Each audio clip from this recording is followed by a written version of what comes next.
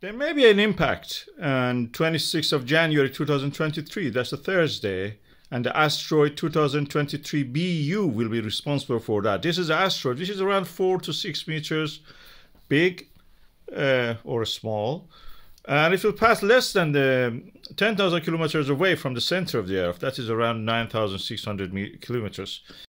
This will have the effect that the orbit of the uh, asteroid will change uh, will get a longer orbit around the sun and uh, it may not even impact the Earth. Uh, this is the typical asteroid that burns up in our atmosphere. There is a chance also that actually it may burn out in the atmosphere, like the many similar ones that we know, and they do that, and they burn in our atmosphere. The, we have the example of the Chelyabinsk uh, meteorite or fireball uh, which uh, was in the Russia. We have the other examples in Canada, in Iran. We have historically several cases of that. Uh, we have in Australia, Chile, Guatemala, Mexico, many places we have this kind of asteroids. If they survive the passage through the atmosphere, they will not be like a Tunguska, or they will not be something like the uh, even the Chicxulub. They will not be like that. It will approach the Earth and then will go far away from that.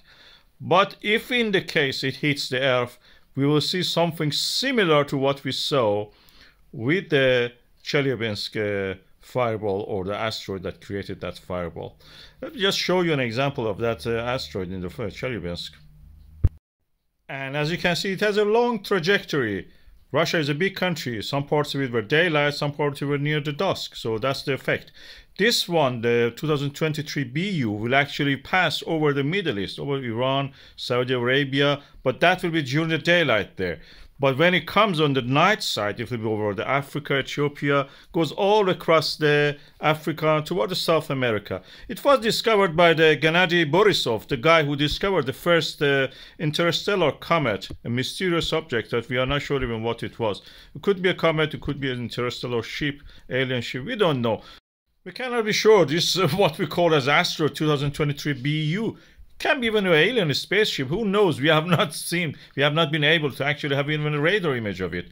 So it's all a speculation based on the previous experience.